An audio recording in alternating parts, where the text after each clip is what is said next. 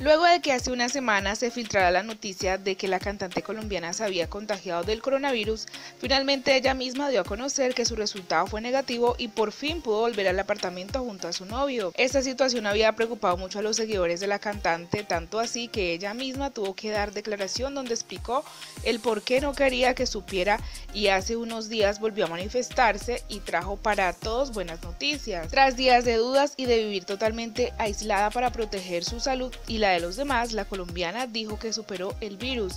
Lo hizo con una fotografía en la que posaba con una cadena de su chico Anuel y las maletas listas para regresar al apartamento que comparte con él en Miami. Compañeros de trabajo y seguidores celebraron esta información, pues reconoció que la había pasado muy mal durante estos días. Tuve COVID, pero fue difícil, súper doloroso, pero en realidad ya estoy saliendo de él.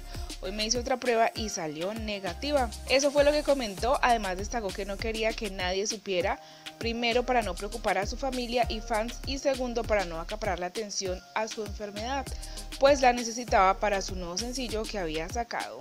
Señores, ¿ustedes qué opinan de esto? Ah, los invito para que nos sigan a través de las redes sociales. Estamos en YouTube, Instagram y Facebook como MATV. Besos, besos.